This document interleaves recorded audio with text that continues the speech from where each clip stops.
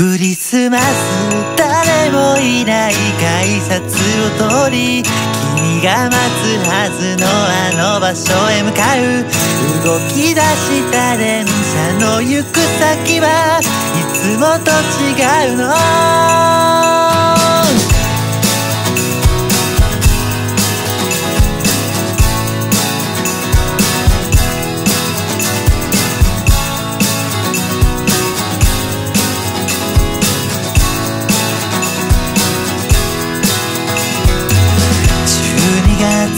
25日大体の人が特別な朝を迎える僕は重た。いまぶたこすり静かにまた夢の中。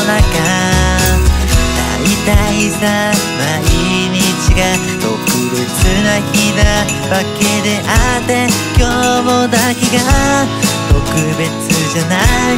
そう考えるは虚無の中ベルが鳴り響く。街はイルミネーションに包まれ取り残される置いてかないで。キャロルが遠くで聞こえる。クリスマス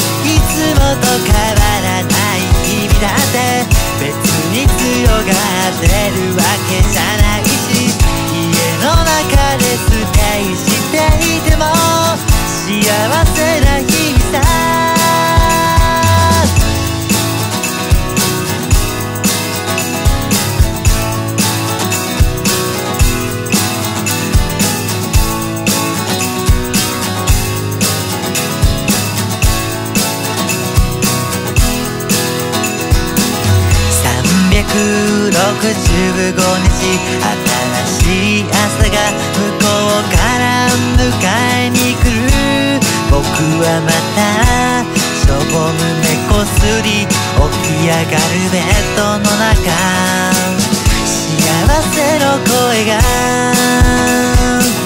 街中のあちこちから溢れ出す愛しき人のこと